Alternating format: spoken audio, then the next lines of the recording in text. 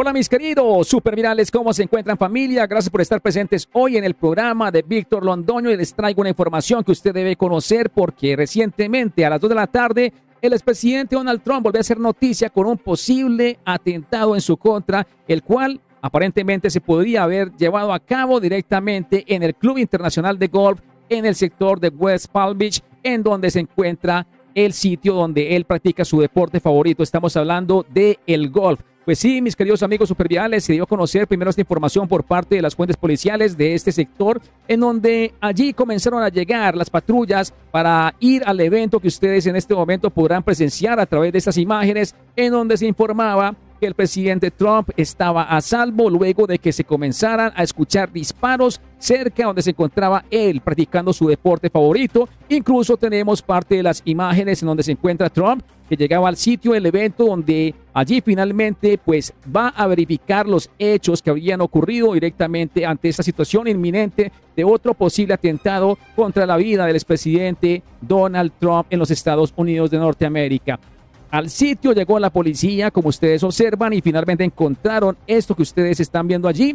Encontraron prácticamente dos chalecos, encontraron una cámara GoPro, encontraron un fusil AK-47 con el cual aparentemente se pretendía darle, ustedes ya entienden, darle de baja al actual hoy candidato republicano de los Estados Unidos de Norteamérica, un candidato que ha sido perseguido durante esta administración con la cual lleva cuatro juicios penales para intentar encarcelarlo, dos intentos de asesinato fallidos, como fue el del 13 de julio en Butler, Pensilvania, y finalmente, mis queridos amigos, que le lleva a un impacto en su oreja, porque gracias a que desvió su cabeza, hoy está contando el cuento del presidente y se encuentra haciendo giras para recuperar a la nación.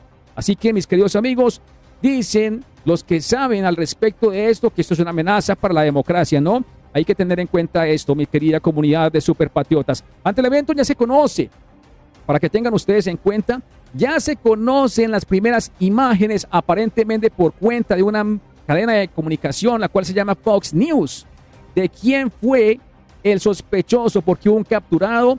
Atentos con esto porque este es el señor que ustedes verán en este momento aquí a través de la plataforma en la que nos cuentan que según Fox News, este es el sujeto que habrían capturado durante el evento y que se llama Ryan Wesley Rout. Ahí lo tienen en pantalla, tienen parte de esas imágenes. De hecho, por aquí vamos a observarlo mejor.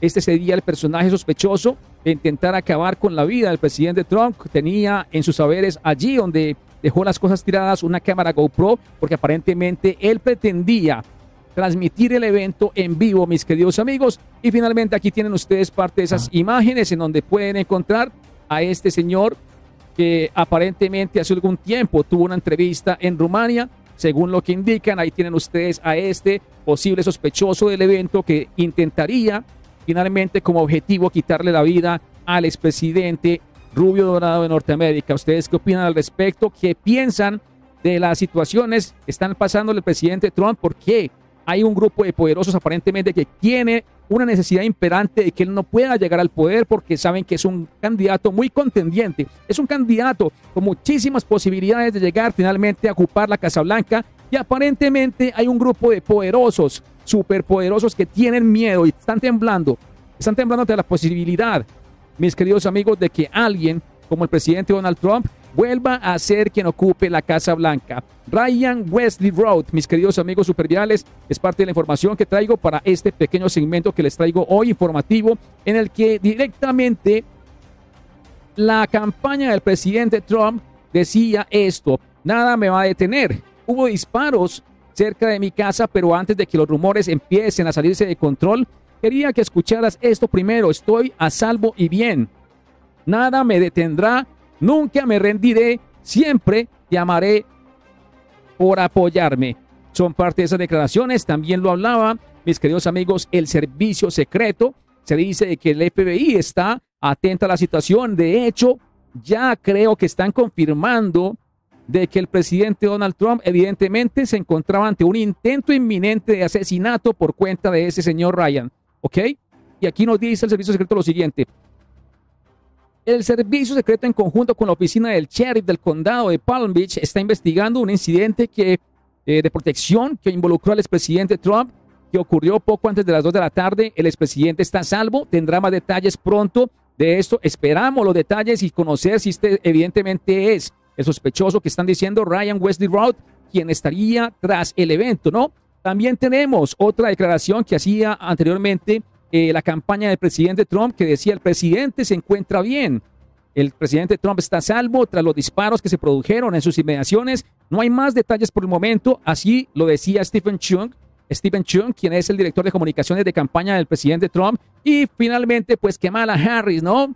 Kamala Harris dice, porque están repudiando el acto. Me han informado de que se ha producido disparos cerca del expresidente Trump y de su propiedad en, Florida y me alegro de que se encuentre a salvo. La violencia no tiene cabida en Estados Unidos. Sin embargo, no se pregunta quiénes son los beneficiados ante un evento como este. Pues a ver, veamos un poco qué dicen por acá los que están comentando y dicen esto.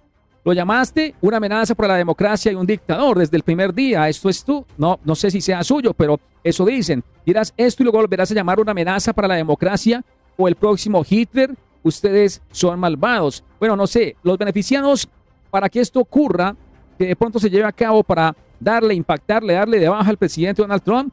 ¿Quiénes son?